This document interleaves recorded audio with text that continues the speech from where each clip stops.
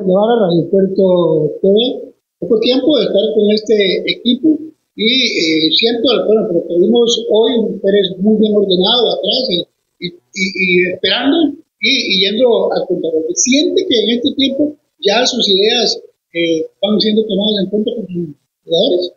Sí, Roger, este, los últimos años que me ha tocado dirigir, me ha tocado asumir equipos que, que están en esa, en esa lucha, ¿verdad? En lucha abajo y, he aprendido mucho a saber defender, a saber defender, a construir, a construir el equipo de, la defensa hacia adelante, cosa que cuando estaba más joven empezaba y, me gustaba más empezar de arriba, ¿verdad? Lo contrario, pero bueno, las circunstancias y todo me ha llevado a, ganar experiencia en ese sentido y, creo que los muchachos lo han asimilado bien y, a partir de ahí este, creamos peligro porque tenemos un equipo rápido también para hacer transiciones rápidas. ¿Siente que va satisfecho por lo alcanzado hoy? Me hubiera gustado ganar. Eh, pero, como lo he dicho en otros partidos, o sea, hoy ganamos un punto, hoy ganamos un punto que es valioso, ¿verdad?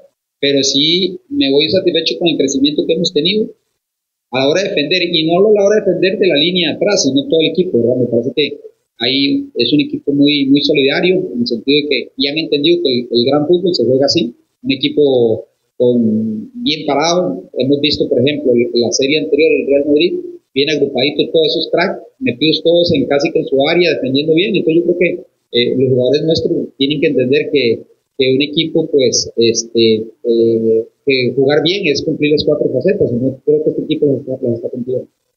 Yo una última parte.